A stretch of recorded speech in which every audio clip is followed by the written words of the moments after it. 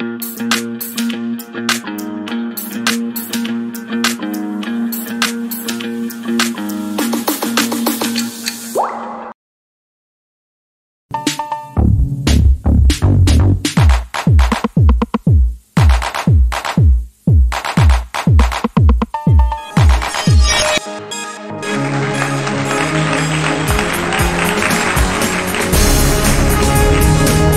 Now, most of the religious leaders on Christmas Day in their sermons, just like I already reported, called upon President Museveni's government to respect human rights, stop abductions, and extrajudicial killings in the country.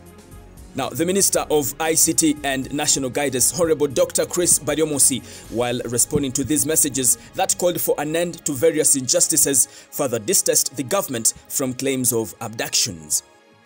Baryomunsi noted that many religious leaders' claims were driven by the opposition and he further cautioned them against being hoodwinked into politics. babeere nti tebagoberera bya politiki ebya yokka ate ngu tebalina evidence tebalina ebituufu. Kubanga naffe gavumenti tetuwagira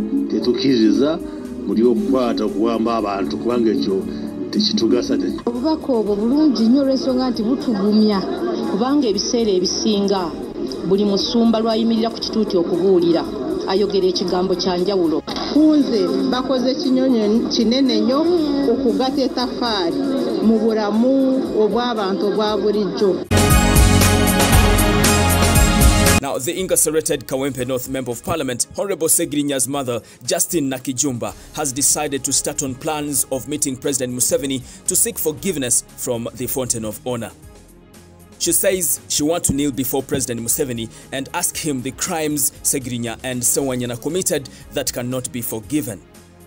Uh, meanwhile, we all remember after horrible Norbert Mao's appointment as Minister of Justice and uh, Constitutional Affairs, everybody thought he was going to work on this matter as soon as possible. But it seems things are not moving as expected. Now, the two members of parliament are facing trial on murder charges pressed on them as government suspects they were behind the massacre killings in 2021 between June and September before they were arrested. Well, that's it from Honorable Muhammad Segirinya's camp. And uh, don't forget to subscribe in case you haven't. And also tap on the bell for all the notifications. My name is Melaz Milo, aka Fuller. And it's a bye for now. Thank you.